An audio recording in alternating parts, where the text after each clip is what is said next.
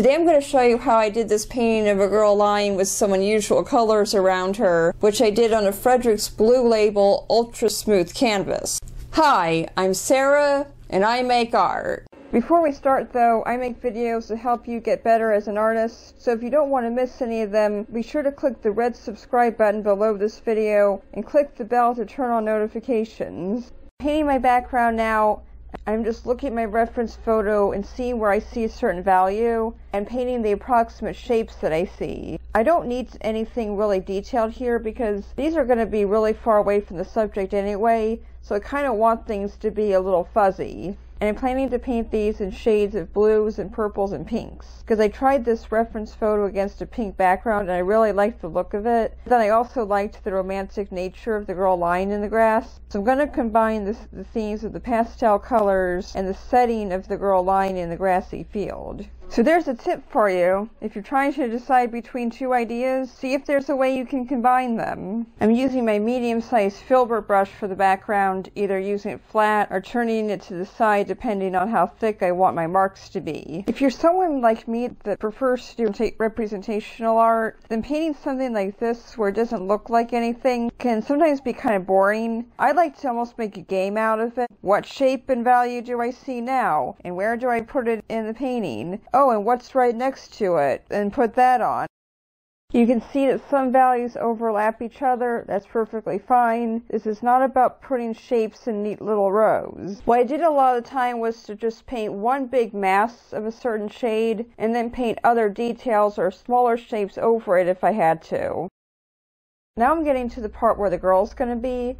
And I don't want to have too much detail here because it's going to get covered up, but I still want there to be paint on the canvas. So I'm just blocking this in with the dark gray, then I'm coming back through with some big sweeping streaks of some lighter color, and that's it. I've also switched to my large filbert brush, which is the largest br brush that I have for acrylic, so I can fill this part up faster. There are those big sweeping streaks of that lighter color I was talking about.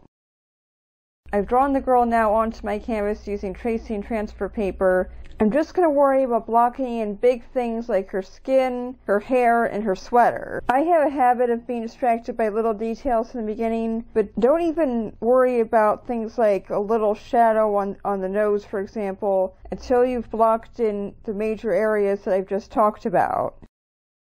I also have some anxiety around my values not being right when I first put them down, and I knew from the first stroke I, that I made on her forehead that that shade was too dark. And I just went back to my palette and added more white to make it lighter and kept painting. I'm telling you this, but it's really something I also need to remind myself of. If that's all you need to do if something's not the right shade. Just go back and keep mixing.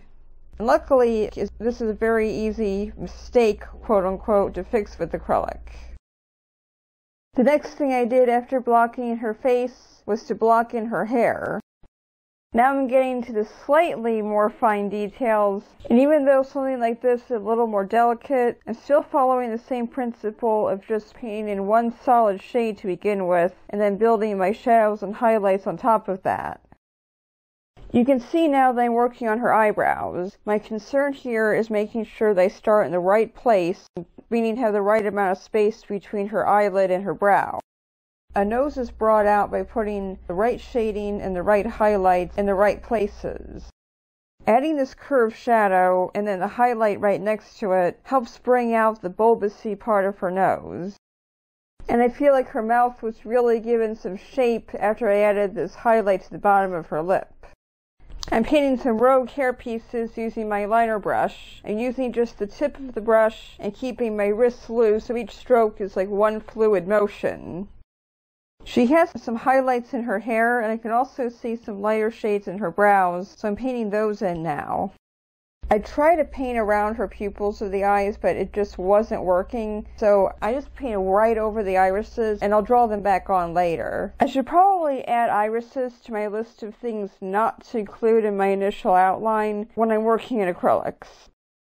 I'm taking a break now from painting her face to block in her sweater and just blocking in a big mass of a light gray, almost white really, but not worrying about detail at this point. And yes, this is a white sweater that she's wearing, but the reason that I'm just painting it a very light gray and not a true white is so that of course I can use white for my highlight.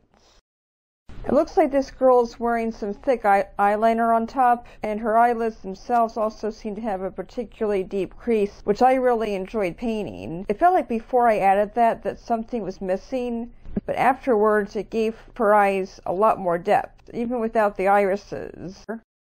Now I'm doing what I think always brings a portrait to life, and that's painting her irises. This color I'm putting down now is too dark for the iris, and the color I have down for the rim is not dark enough, but we'll fix that later. I'm just putting this on for now. You can see me darkening the rim around these irises to what's an almost black shade. That's the first step to giving these eyes the contrast that I need them to have. And this blackness, by the way, isn't a solid ring around the iris. It kind of tapers off at the outer edge and ends about halfway down. That's why you see me fussing with the shape a bit. The next step to giving the eyes that contrast is of course to make the main part of the iris much lighter than I have it. Now it's time for her pupils, and pupils have always been a bit of a challenge for me. You think it'd just be put a little dot somewhere, but really more complicated than that. Drawing or painting a perfect circle, for one thing, isn't easy. But it's also important to make the pupils the right size, because pupil size has a big impact on the person's, on the appearance of the subject's overall mood. In fact, I've had the idea to do a video about how you can alter the, the appearance. I don't even know what word I'm looking for, but pretty much how you can depict certain moods or even personality traits in a subject just by how big or small you paint their pupils. I will say here that most of the time you want to aim for bigger rather than smaller when it comes to pupil size. Just don't let them take over the iris. Now, my go-to canvas for most of my paintings now is Fredrix's Green Label, which is a linen canvas. And generally, linen is much smoother than cotton. Cotton tends to be a little rough, but this blue label canvas, which is a cotton is a cotton canvas, is also a very smooth canvas. In fact, it's called Fredrix's Blue Label Ultra Smooth Canvas. And I really haven't noticed the difference between this and the green label. They're both very good for portraits. You can see I'm putting some lightness right between her lower eyeliner on each eye and the shadow of her lower eyelid. This helps to give shape to the, to the lower eyelid and has the added benefit of pushing her eyes further back, so making them look like they're deeper set in their sockets. Now we get to the details on her sweater. This was something I wasn't looking forward to doing because I knew it would be very repetitive and boring, but something I felt the piece really benefited from after it was done. So the way I painted this texture was by making tiny dots with the tip of my liner brush. I made those dots very close to each other in rows that were likewise, while also making sure to have some of the dots go in different directions and not just straight across, all while varying the values, meaning how light and dark they were. All of this was done to add more realism to the piece.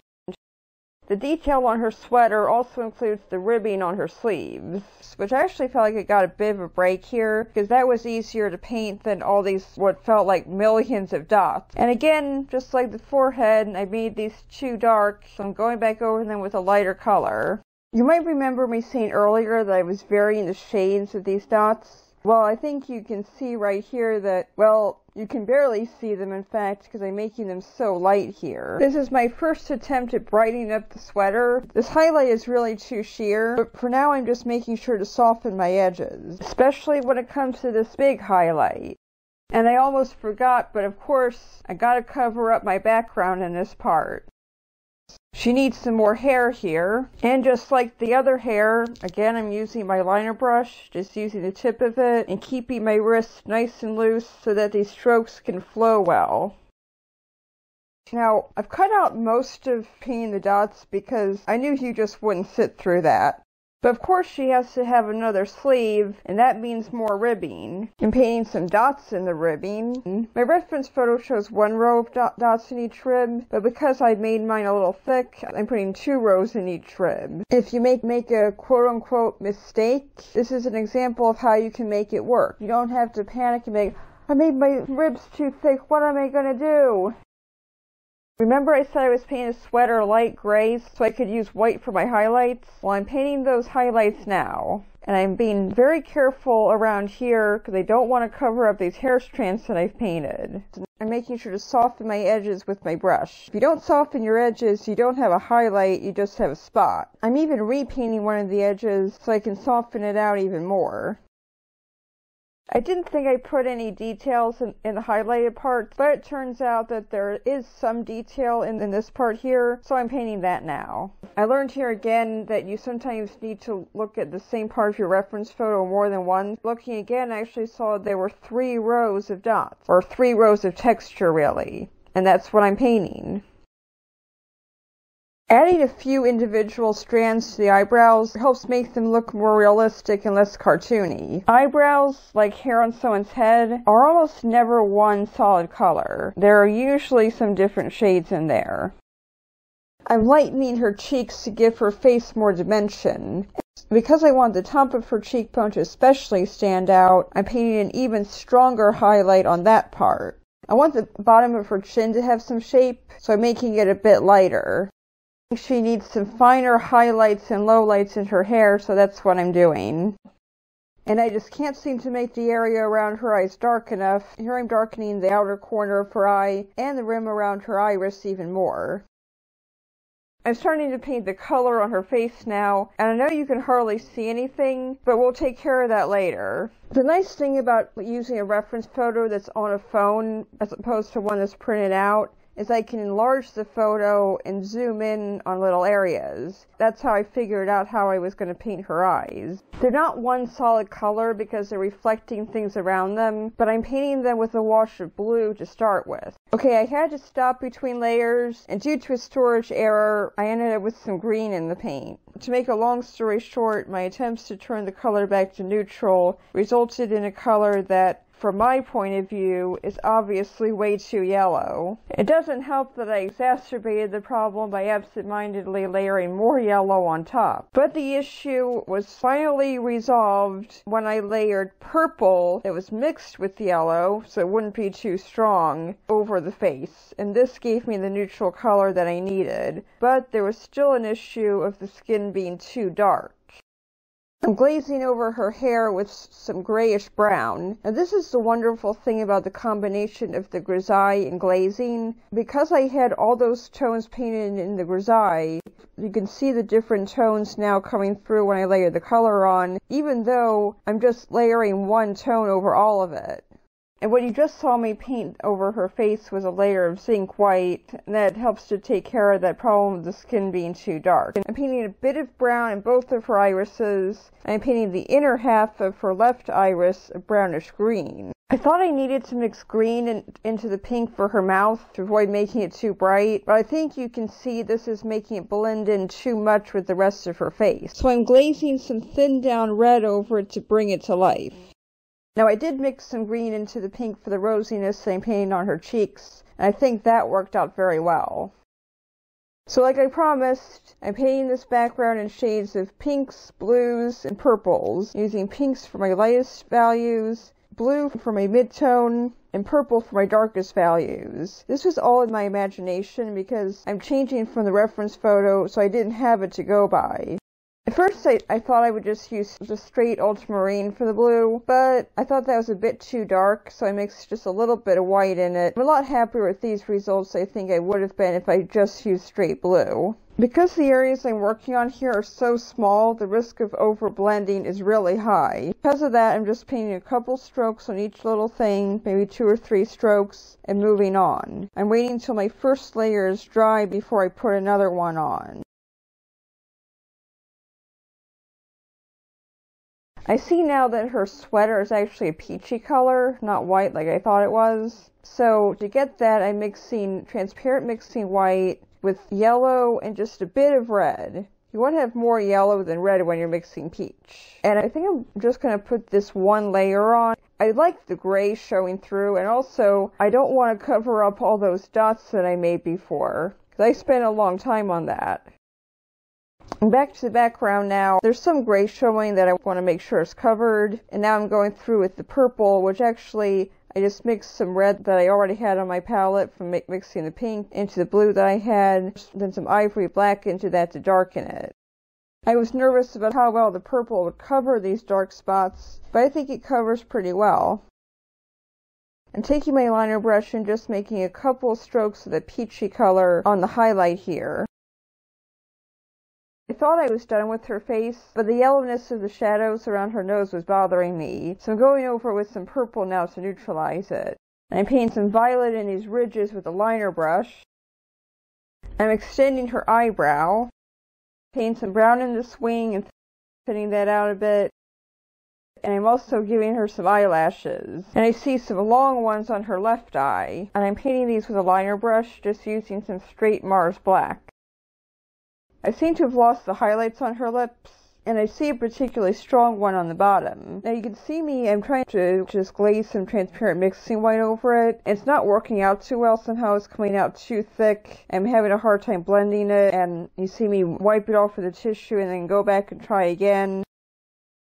And I thought I'd gotten it, but after a little while I still wasn't happy. So I mixed some of my transparent middle red with my titanium white. Basically, instead of glazing, I'm painting an opaque layer of a lighter color over the bottom lip. My brush is dry now and I'm just making a few flicks of it on the edge to blend that out. That's a bit too light though, so I'm glazing some of my transparent middle red over it. And here's how it looks so far. This painting in particular taught me that if you have particularly dark shadows on someone's face, paint them first and then paint your lighter layers on top. You can click the card in the upper right hand corner to learn more about what I'm talking about. Two more over here. And if you don't want to miss any, be sure to click over here to subscribe so I can help you bring out your creativity. Thanks for watching.